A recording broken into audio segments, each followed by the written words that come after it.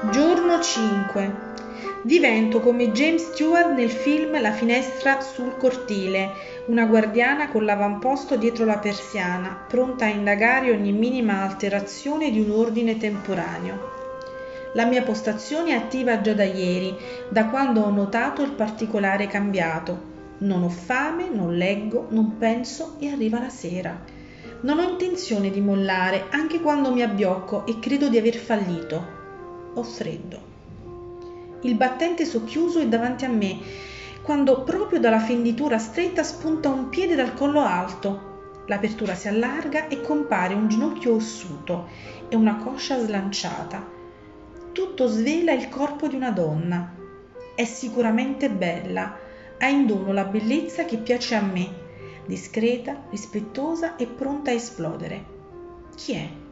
Come riuscite a entrare? La osservo. Siamo vicine. Vorrei subito sapere, ma ho paura di rovinare tutto. Non so cosa fare e tergiverso. Lei ruota il suo corpo nella mia direzione ed è come ricevere un pugno.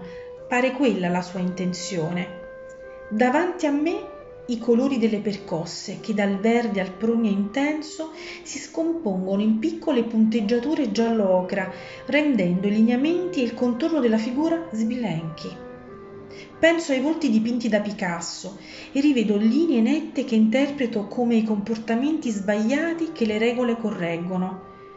La pelle è la carta copiativa che trattiene il dolore. La fisso come ipnotizzata. Non vorrei umiliarla ci guardiamo per la somma di immemorabili istanti e noto i suoi occhi che rilasciano acqua salata. Le lacrime scivolano sulla sua pelle pallida, colando sul seno e perdendosi tra le pieghe del vestito. Ristagnano sulla cute scura, tra le ferite, dove formano piccoli stagni vuoti e le gocce non riescono a rimbalzare. Mi dice, sono Sara, conosco la tua sofferenza.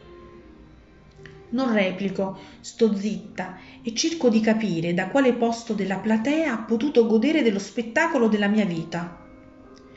Nella bolla in cui vivo manca lo spartito da cui leggere le parole da ripetere. Riesco solo a contare le lavatrici stese che paiono barriere di una umanità dispersa. Ho le vertigini per il contatto prolungato. All'improvviso ascolto la mia voce che sgraziata esplode. Come sei entrata in casa? Sara non risponde subito e temo possa non avermi sentito. Poi ripete, come sono entrata?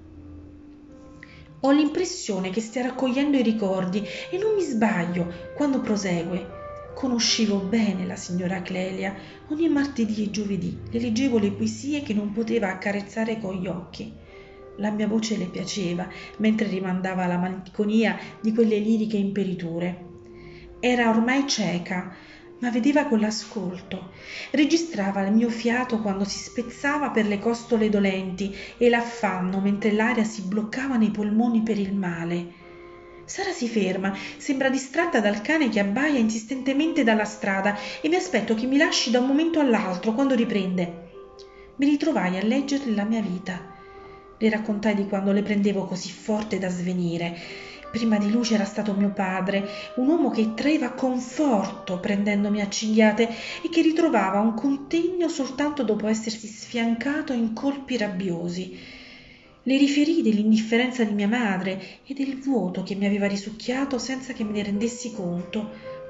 Mi concesse di chiamarla unicamente Clelia, perché la confidenza, diceva, è nel nome un giorno mi indicò il tiretto dove, prima di perdere completamente la vista, tra le lettere di alcuni fra i suoi studenti, aveva conservato il duplicato delle chiavi di casa.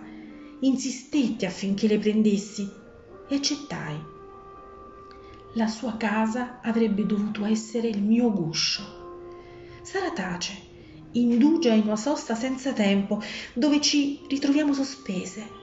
Poi aggiunge il lezzo della violenza, sai, ti rimane attaccato addosso come un sortilegio. Mi ritrovai accanto a un marito violento, brutale nell'oltraggiare quanto sadico nel violare. Mi diede prova che all'esercizio della verga si può associare la rapina dello spirito. Solo a Clelia rivelai del timpano perforato e quando morì, un anno dopo il nostro primo incontro, mi ricordai del nostro segreto. Le luci dell'alba, anche in un vicolo di una città di provincia, iniziano a farsi strada. Non so cosa aspettarmi ancora. Lei si volta e riappare il profilo, quello che la scopre bella, e cinicamente mi domando per quanto tempo. Chissà se aspetta che le chieda qualcosa, mentre preservo la quiete che ci avvolge. I particolari non cambiano le storie di violenza domestica.